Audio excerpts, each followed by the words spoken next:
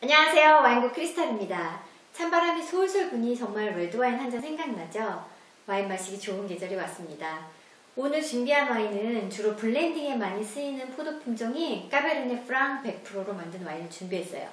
Cabernet Franc은 주로 보르도에서 블렌딩으로 많이 쓰이는데 Cabernet Sauvignon, Merlot, Cabernet Franc 이렇게 3대 블렌딩으로 쓰이는데 이 와인은 보르도 말고 프랑스 루아르 지역에서 나온 Cabernet Franc으로 만들었어요. tasting할 와인은 레, 르부아르 2012, 11 빈티지예요. Cabernet Franc 100%로 만들었고요. 루아르에서도 시농 지역에서 만든 와인입니다. Cabernet Franc은 Cabernet Sauvignon만큼 그렇게 탄닌이 많고 full body 와인은 아니에요. 그래서 지금 색깔도 좀 Cabernet Sauvignon보다는 훨씬 또 맑고 옅은 색깔이네요. Cabernet Franc 하면 제일 유명한 와인이 슈바이 블랑이죠. 음. 음. 가장 지배적인 향이 피망, green pepper 그런 향이 나고요. 약간의 후추랑 흑연 향도 좀 납니다. 그러면서 또 어, 크랜베리, 말린 크랜베리 향도 나고요. 음.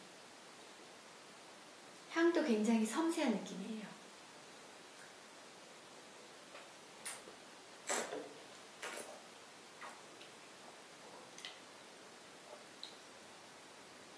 아,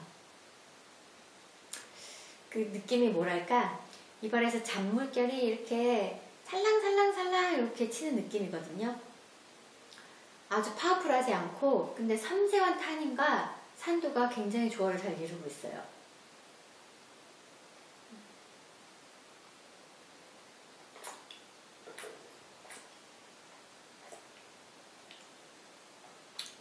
음. 홍차잎 같은 뉘앙스도 있고 여운도 굉장히 기네요.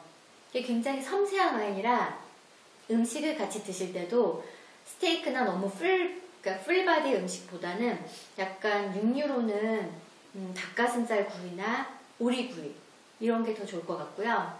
음, 그냥 말랑말랑한 치즈 이런 거랑 먹으면 좋을 것 같고 또 우리나라 음식도 너무 간이 세지 않은 그런 음식이랑은 잘 어울릴 것 같아요. Cabernet Franc은 단일 품종으로는 흔치 않은 와인이기 때문에 루아르 시농에서 나온 Cabernet Franc 꼭 한번 같이 경험했으면 좋겠어요. 와인고 크리스탈이었습니다.